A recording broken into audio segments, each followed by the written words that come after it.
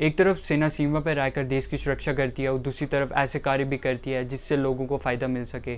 इसी तरह छः सेक्टर आरआर की तरफ़ से बफलियाज में महिलाओं के लिए कटिंग ट्रेनिंग कोर्स खोला गया, जिसमें 50 महिलाओं को सेना की तरफ़ से ट्रेन किया जाएगा। लोगों ने सेना की इस कोशिश से बहुत खुश हुए हैं। पेश है आकाश मलिक की रिपोर्ट।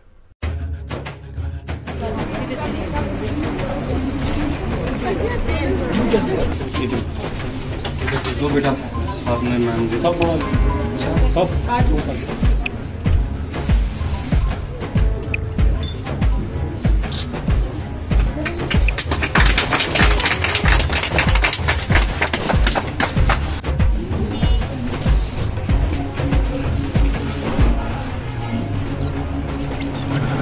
आपको तो सीखा होगा तभी आ गए।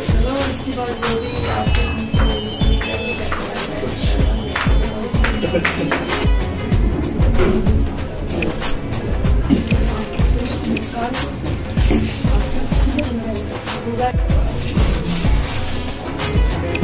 ठीक है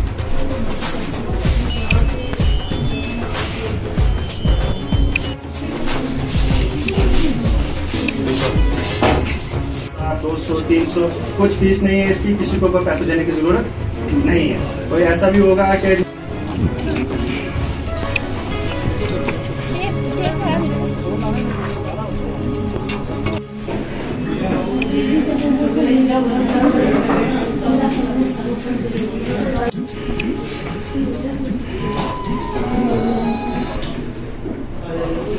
आगे लेके चल रहा हूँ ठीक? वैसे ही आप लोगों को भी यहाँ पे कोर्स अच्छे से करना है।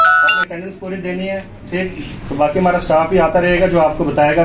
वक्त वक्त पे आपकी थ्योरी क्लासेस होंगी प्रैक्टिकल क्लासेस होंगी। ये सब आपको कोर्स करवाया जाएगा। मैं मैं सरपंच हूँ बफलियाज बी की। अ, इंडियन आर्मी का बहुत अच्छा रोल रहा है कि जब से अ, इंडियन आर्मी यहाँ पे हमारे फारफलॉन्ग एरिया में जितना भी है मड़ा जैसे हो गया और भी कई सारे एरियाज़ ऐसे हैं पीछे के जो जिनमें इंडियन आर्मी का ये रोल रहा कि उन्होंने बेटियों को बहुत इम्पावर किया है।